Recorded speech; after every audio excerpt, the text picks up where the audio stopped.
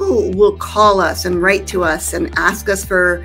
ideas and advice. And they are they are constantly uh, amazed that we answer our phone, we answer our emails, we make connections, uh, and and we are uh, very committed to helping individuals and their and their care teams, their families, and and I think that responsiveness, that sort of boutique approach to living well with Parkinson's makes us unique, and we hear that every day from from people.